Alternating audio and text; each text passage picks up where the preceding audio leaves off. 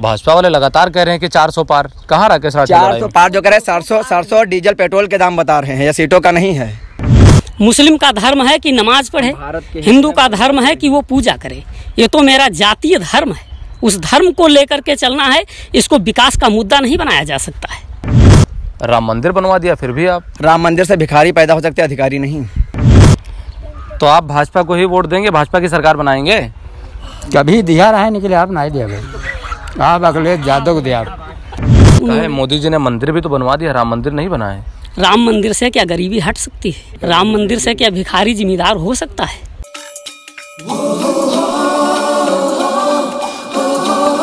इस खबर के प्रायोजक हैं public junior high school Tambor Sitapur. जो एक ऐसा भरोसेमंद शिक्षा संस्थान जहाँ आपके बच्चों को मिलेंगे उनके सपनों के पंख। तो देर ना करें आज ही नामांकन कराएँ और सवारें अपने बच्चों का बेहतर भविष्य। नर्सरी से जूनियर हाई स्कूल तक उत्तम शिक्षा का मात्र एक संस्थान। Public junior high school Tambor Sitapur. अधिक जानकारी के लिए संपर्क करें। हमारा संपर्क सूत्र है seven double zero seven six zero double one eight five. साथ ही हमारा पता है निकट बड़ी मस्जिद मोहल्ला दलियन टोला तंबोर जनपद Sitapur. I, Muhammad Dilnawaz Gauri, Deputy Manager of Public Junior High School, I welcome you all to contact us for your child's bright future.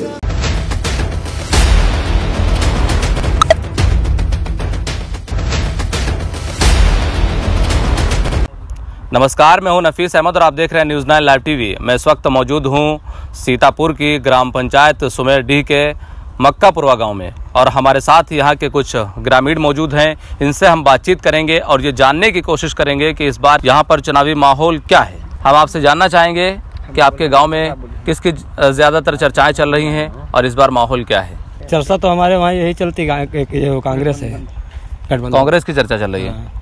तो क्या मन बनाया है इस बार पूरी तरह से? हम तो उसी में जाएँगे कांग्रेस में। तो इस बार जो मतदान करेंगे क्या मुद्दे होंगे? मुद्दे भी कुछ भी हो लेकिन मेरे को तो सपा से मैं अब इसमें गठबंधन में आया हूँ तो गठबंधन में दूँगा वोट तो ये तो अंधभक्ति वाला सिस्टम हो गया मुद्दे कोई भी नहीं है बस वोट देना है हमको। अब इसमें कोई किराया तो मेरा बचा नहीं है हर वक्त किराया बढ़ता है ट्रेन में। मेरे को बाहर तो जाना ही पड़ता तो किराया बढ़ गया। मैं पहले तीन सौ में जाता था अब साढ़े तीन सौ लगता सत्तर लगता है। तो हर जगह पेट्रोल भी महँगा हो गया डीजल भी महँगा हो गया। मेरे को डीजल पेट्रोल से तो सारा काम चलता है। क्या नाम है? हमारा संतोष नाम है। क्या करते हैं आप? खेती करते हैं जानवर रखे हैं उनको खिलाते पिलाते हैं बस। आपको मालूम होगा कि आपके वहाँ तेरह मई को मतदान है हाँ। वोट पड़नी है। हाँ ये तो मालूम क्या माहौल है आपके गाँव में? सबसे ज़्यादा चर्चा किसकी हो रही है और आपका क्या मूड है? अब इस बार तो गठबंधन की चर्चा हो रही है और जनता जो है बदलाव चाहती है। बदलाव क्यों चाहती है? इस सरकार में क्या कोई काम नहीं हुआ आपकी नज़र में? नहीं नहीं अब हमारी नज़र में तो काम नहीं हुआ है। सड़कें अधूरी हैं सड़कें गड्ढा मुक्त वो मोदी जी ने बोला था कि भारत को गड्ढा मुक्त कर देंगे लेकिन मेरे हिसाब से तो गड्ढा मुक्त नहीं हुआ है अभी तक। और नागरिक जो है बराबर पीछे जा रहा है। कहाँ? फ्री राशन मिल रहा है। फ्री राशन तो पाँच किलो मिलता है लेकिन खेत में पाँच और दस कुंटल का नुकसान हो जाता है उसकी भरपाई क्या गवर्नमेंट कर पाएगी? खेत बचाते बचाते आदमी जो है जी जान से जूझ रहा है और बराबर गवर्नमेंट उसको नज़रअंदाज कर रही है। इससे क्या जनता सहमत रहेगी? आवास नहीं मिली शौचालय नहीं मिला? नहीं और आवास तो शौचालय मिलता है तो अगले भी गवर्नमेंट में मिलता था। क्या ये कुछ इस गवर्नमेंट में नया तो मुझे नहीं लग रहा है।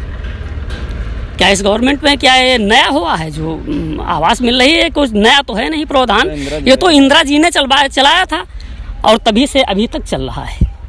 तो गठबंधन को ही क्यों आप चुन रहे हैं? आपके सामने मायावती भी है बसपा से उनके भी प्रत्याशी महेंद्र सिंह यादव हैं चुनावी मैदान में इस वक्त। आप उनको भी जानते होंगे। इंडिया अलायंस गठबंधन से राकेश राठौर हैं भाजपा से सांसद राजेश वर्मा हैं और पीडीएम गठबंधन से काशिफ अंसारी हैं। इनमें आप गठबंधन को ही इंडिया अलायंस गठबंधन को ही क्यों चुन रहे हैं? क्योंकि उसके विचार मुझे अच्छे लगते हैं। जो उन्होंने वादा किया है जो काम करने का वादा किया है पिछली गवर्नमेंट में जो अखिलेश जी ने काम किया था विकास के मुद्दे पर और आगे बुलेट ट्रेन और जैसे समाजवादी पेंशन योजना और स्वास्थ्य योजना एंबुलेंस सौ नंबर कई चीज़ें ऐसी बता चलाई थी। उनको योगी जी ने आगे तो नहीं बढ़ा पाया। उसको बढ़ा नहीं पाया। रानी लक्ष्मीबाई पेंशन योजना चलाई थी। उन्होंने उसको भी बंद कर दिया। वृद्धा पेंशन योजना चल रही थी। उसको भी बंद कर दिया उन्होंने। मोदी जी ने मंदिर भी तो बनवा दिया राम मंदिर नहीं बना है राम मंदिर से क्या गरीबी हट सकती है? राम मंदिर से क्या भिखारी जिम्मेदार हो सकता है? राम मंदिर रामचंद्र जी के भक्त मैं भी बहुत प्रिय भक्त हूँ। रामचरित मानस परमानेंट पढ़ता हूँ। फिर भी उससे क्या गरीबी हट जाएगी? गरीबी नहीं हट सकती है। मंदिर अपने दरवाजे पर बनवाए हैं पूजा करते हैं हिंदू हैं। मुस्लिम का धर्म है कि नमाज़ पढ़े हिंदू का धर्म है कि वो पूजा करे। ये तो मेरा जातीय धर्म है। उस धर्म को लेकर के चलना है इसको विकास का मुद्दा नहीं बनाया जा सकता है। क्या बनाने से भारत का कल्याण हो सकता है? ये अंध भक्तों का जो है वो हो सकता है लेकिन जो पढ़े लिखे हैं ग्रेजुएट सोच के हैं इससे कल्याण नहीं हो सकता है। भाजपा लगातार कह रही है सबका साथ सबका विकास तरह तरह के वादे कर रही है तरह तरह की योजनाएँ चला रही है सरकार। फिर भी आप भाजपा सरकार की बगावत कर रहे हैं। नहीं इसमें नहीं हमने बगावत तो नहीं की। जो उसकी कार्यशैली है उसको मैं बता रहा हूँ बगावत नहीं कर रहा हूँ। न किसी की तारीफ़ कर रहा हूँ। उसके सपा के विकास गिना रहा हूँ। और जो राहुल जी ने वादे किए हैं वो वादे बता रहा हूँ। क्या नाम है? विजय कुमार। कहाँ रहते हैं? ये मक्कापुरवा क्या करते हैं आप? खेती किसानी करी और का। तेरह मई को मतदान है। आपके वहाँ से भाजपा से राजेश वर्मा है इंडिया अलायंस गठबंधन से राकेश राठौर हैं। और बसपा से पूर्व विधायक महेंद्र सिंह यादव हैं। और पीडीएम गठबंधन से काशिफ अंसारी हैं। इनमें से आपको सबसे बेहतर प्रत्याशी कौन लगता है? अरे प्रत्याशी है राजेश वर्मा लागत है और का? तो इस बार किसको जिताने का काम करेंगे? जब से मोदी जी आए तब से तो भाजपा में दी ही गई। हम्म, ठीक है। लेकिन इस बार क्या मूड बनाया है? इस बार का उनके मैं अब भाई सहयोग तो मिल भाई कहीं से। क्या सहयोग मिला जैसे? लैट्रिन मिली आवास मिली सम्मान निधि मिलती। तो पूरा मन बना लिया आपने? हाँ मन तो है। मन है पूरी तरह से? हाँ मन है। फिर राशन मिल रहा नहीं मिल रहा है? हाँ राशन मिल रहा है। आवास शौचालय भी मिला आपको? हाँ मिला। तो आपने पूरी तरह से ठान लिया है कि फिर से राजेश शर्मा को सांसद बनाना है। हरहान वाली दिक्कत रहे तो क्या बाड़ा बने हैं सब जगह जगह बंधे बांधते हैं। अब इसे नहीं दिखाई रहे हैं रहा तो आप पूरी तरह से सरकार से संतुष्ट हैं? हाँ संतुष्ट हैं। क्या नाम है? सत्येंद्र यादव। क्या करते हैं आप? करते क्या बेरोजगार घूम रहे पढ़ाई लिखाई करके। कहाँ सरकार तो लगातार रोज़गार दे रही है? कहाँ अभी पुलिस परिचय पुलिस भर्ती में परीक्षा दिए थे उस पेपर दे के वापस आए शाम को सोए सुबह पेपर लीक। गई भर्ती। वोट आ गई आपकी? हाँ वोट आ गई। तो इस बार क्या मूड बनाए क्या चाहते हैं? इस बार हम राकेश राठौर को वोट देंगे गठबंधन को। क्यों मोदी सरकार में क्या आपको खराब लग रहा है? तो आप मोदी सरा मोदी सरकार में सब कुछ खराब ही तो है। कहाँ खराब है? मोदी सरकार तो लगातार कह रही है सबका साथ सबका विकास। सबका साथ सबका सत्यानाश कर रही है। क्या सबका साथ सबका विकास यही हो, क्या होता है? सबका साथ सबका विकास। देखिए वो जो है भी मुख्तार अंसारी जेल में जहर जहर जहर दे देकर लोगों को मारा जा रहा है किसी को गेट पर मारा यही क्या इनका शासनकाल है? अभी एक वो थे प्रदुमन कुछ उनका नाम है जो अभी जर्मनी गए हैं। एक हज़ार महिलाओं के साथ बलात्कार करके उसकी जो है पेन ड्राइव उनके पास है वो उनके मौजूदा सांसद हैं। क्या यही सबका साथ सबका विकास हो सकता है? तो आपने क्या मन बनाया इस बार? इस बार हम राकेश राठौर को वोट देंगे। हमारी पार्टी समाजवादी जो है समर्थन कर रही है कांग्रेस को हम उन्हीं को वोट देंगे।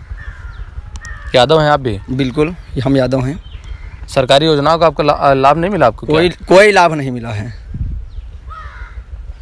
कोई लाभ नहीं मिला कोई लाभ नहीं मिला। कहा है वो तो घर घर शौचालय आवास सब कुछ दे रही है सरकार? आवास वास कुछ नहीं मिला हमको। राम मंदिर बनवा दिया फिर भी आप? राम मंदिर से भिखारी पैदा हो सकते अधिकारी नहीं। राम मंदिर से भिखारी ही पैदा होंगे, अधिकारी थोड़े ना पैदा होंगे। अगर राम मंदिर की जो है लागत अट्ठारह सौ करोड़ रुपए की, अगर उसे स्कूल बनवाए गए होते तो कितने लोग शिक्षित हो जाते? हैं इन लोगों का मकसद है कि जब मंदिर बनवाएँगे और जो है बच्चे पढ़ेंगे नहीं, अंधभक्त पैदा होंगे तो इन्हीं को वोट करेंगे। इसलिए ये मंदिर बनवा मंदिर कोई विकास का मुद्दा थोड़ा ही ना है। तो इस बार जो मतदान करेंगे क्या मुद्दे होंगे आपके? क्या सोचकर मतदान करेंगे? सोच कर यह है कि विकास कर हमारी जैसे सरकार बनेगी लोगों का कर्ज माफ़ होगा। इन्होंने बड़े बड़े जो है बिजनेसमैनों का कर्ज माफ़ किया सोलह सौ करोड़ रुपए का। अगर कांग्रेस की सरकार बनेगी तो गरीबों का कर्ज माफ़ होगा। तो मन बना लिया आपने पूरी तरह से बदलाव बिल्कुल बिल्कुल राकेश राठौर इस बार बम्फर जीत रहे हैं। भाजपा वाले लगातार कह रहे हैं कि 400 पार। कहाँ राकेश राठौर चार सौ? पार जो करे चार सौ चार सौ डीजल पेट्रोल के दाम बता रहे हैं। या सीटों का नहीं है। या डीजल और पेट्रोल के दाम हैं। अभी तक सौ रुपये तक पहुँचा है साठ से लेकर अपनी जान में हम साठ से सौ तक देखे हैं और अभी सौ से चार सौ तक पार करवाएँगे डीजल पेट्रोल के दाम। नहीं सीट का बता रहे हैं चार सौ नहीं ये सीट ये लोग सीट समझ रहे हैं लेकिन वो डीजल और पेट्रोल का दाम बता रहे हैं। राजेश शर्मा लगातार कह रहे हैं कि चार लाख पार। राजेश शर्मा कुछ भी राजेश शर्मा को अभी तक हमने ज़िंदा तो देखा नहीं है। गाँव में तो कभी आए नहीं हैं। हाँ कुछ चहेतों के यहाँ आते हैं चाय नाश्ता करके वापस जाते हैं अलग बात है। लेकिन हम लोगों को कभी डायरेक्ट नहीं मिले हैं। फ़ोटो तो अभी तक देखे लेकिन डायरेक्ट उनसे कभी मुलाकात नहीं हुई है।